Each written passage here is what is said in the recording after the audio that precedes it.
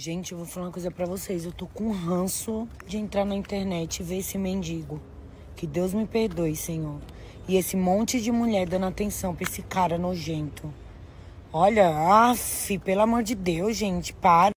Eu, hein? O povo tratando o cara como se ele tivesse salvado alguém de, da morte. O cara ajudou a afundar uma mulher e as outras mulheres ainda em cima. Dando beijo, abraço, fazendo tatuagem. Ajuda, né? Eu, hein? Vamos raciocinar, pensar na vida. A mulher tá transtornada na clínica psiquiátrica.